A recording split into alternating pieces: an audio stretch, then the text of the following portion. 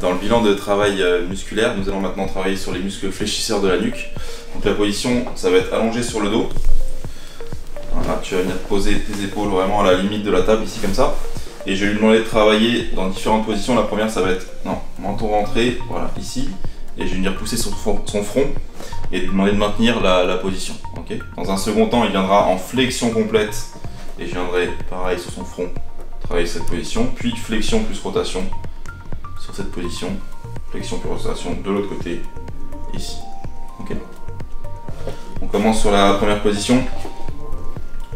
Dans cette position là, ok, tu vas venir travailler sur, tu peux reposer ta tête en main.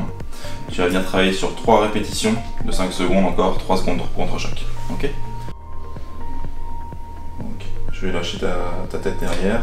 Allez, tu pousses ça, tu tiens. Allez, allez, allez. Encore, encore, encore, encore, encore, encore, encore, encore. Et relâche. Relâche, relâche, relâche. flexion complète. Tu décolles pas les épaules de la table. Je vais venir faire une contre-prise là sur son thorax pour pas qu'il décolle. Et on est parti. Allez, go. Deux. Et relâche. Une deuxième. Vas-y, fléchis bien à fond. Allez, go. Encore, encore, encore, encore. Allez, allez, allez. Encore, maintien, maintien, maintien, maintien, maintien. Dernière, tu remontes. Allez, pousse.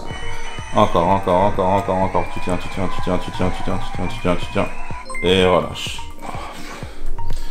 Donc là, on va travailler sur de la flexion-rotation maintenant pour comparer droite et gauche. Donc je vais lui demander de faire la flexion complète plus la rotation. Je vais venir faire une contre-prise là en plaquant bien ses épaules pour éviter qu'il se redresse avec ses abdos. Et la contre-prise là, juste au-dessus de l'oreille sur la tempe. On est parti, t'es prêt? Ouais. 3 répétitions, 5 secondes de maintien, tourne bien, lève bien la tête au maximum. On est parti, go Encore, encore, encore, tu tiens, tu tiens, tu tiens, tu tiens. Encore, encore, encore, encore, encore, encore, encore, encore. Voilà, je tourne bien la tête.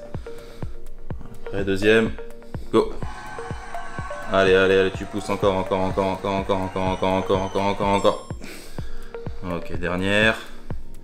Go. Allez. Allez, c'est la dernière. Tu tiens, tu tiens, tu tiens. Encore, encore, encore, encore, encore, encore, encore, encore. Ok, tu relâches.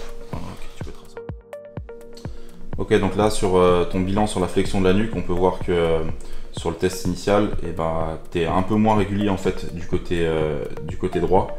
Donc ça veut dire qu'on va devoir travailler un peu sur le renforcement parce que tu as tendance à plus faiblir là, sur, le, sur le côté droit. Donc ça va être intéressant pour, prévenir un peu les blessures là, au cours de la saison d'axer un peu sur la rotation droite le renforcement quand je te donnerai des exercices et tu les ajouteras dans ton, dans ton programme de renforcement de musculation. Et puis on retestera du coup euh, dans quelques semaines pour voir l'évolution et on essaiera de suivre ça sur toute la saison.